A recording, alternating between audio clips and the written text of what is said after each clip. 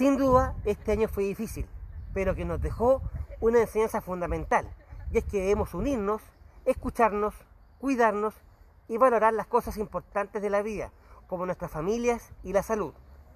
Es por esto que esperamos llenos de esperanza el 2021, para que con mucha fuerza y optimismo podamos construir entre todos un mejor Puerto Varas para nuestra comunidad. Les deseo un próspero año nuevo y una celebración cargada de buenas energías. Felicidades a todos.